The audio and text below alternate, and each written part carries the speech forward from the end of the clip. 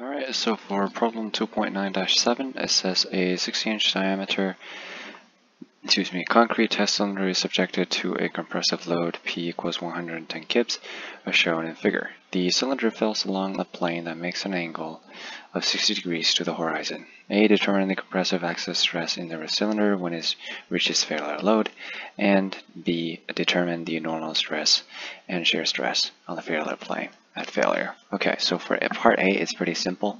This is like 2.1, 2.3 um, sections of knowledge. You should be able to fully just do it in your head, basically.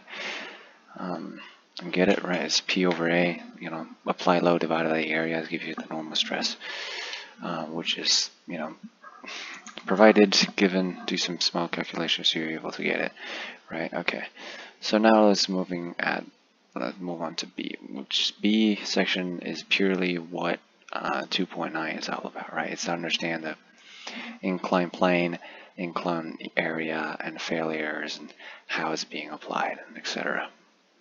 Okay, so we know that the normal, determine the normal stress, right? So if this is the, the load, then the normal stress should be like, okay, this is terrible.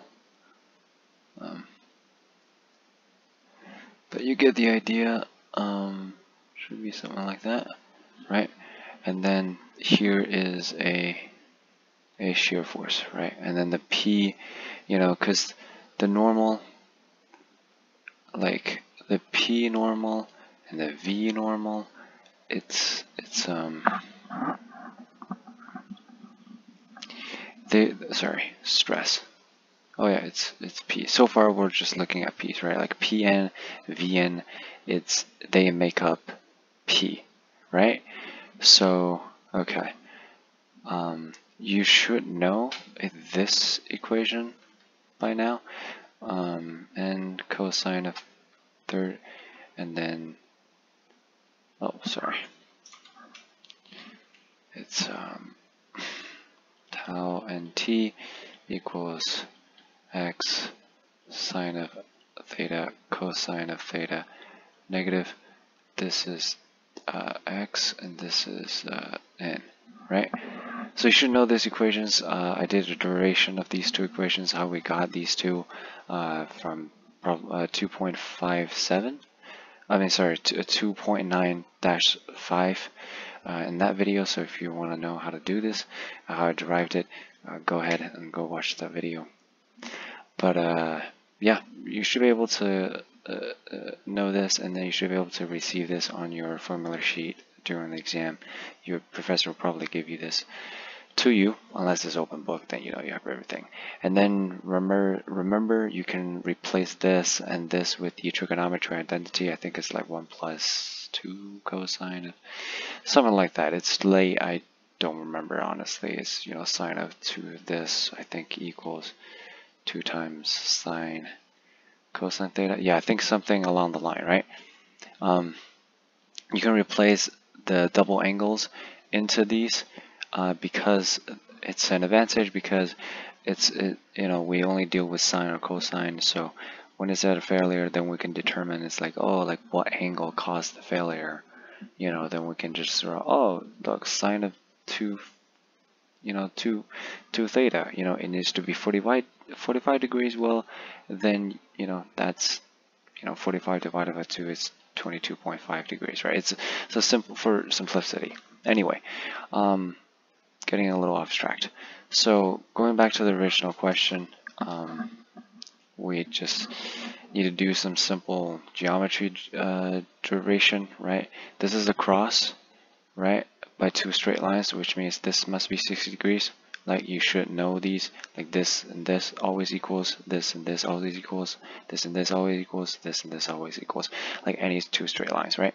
As long as they cross, like the two pointing angles are always the same. So this is 60, then this is 90, then that one must be 30 degrees, right? As you can tell, this is straight and this is parallel to this line this is parallel to this line, right? So it means this must be 30. If this is a, a right, right angle, this must be 60.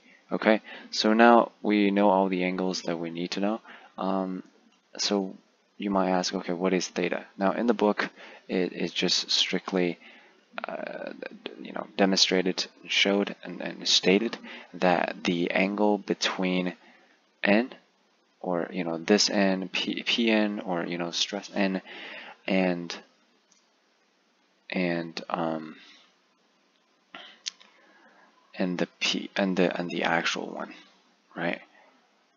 So in this case, this is pn, right? So this is this is pn this is P, which means the angle in between is 6 degrees, and that's theta, right? If this is uh, like N, this is X, then this is theta, right? And this is N, in the N direction, right? This is the shear force. This is the uh, T direction, we call it.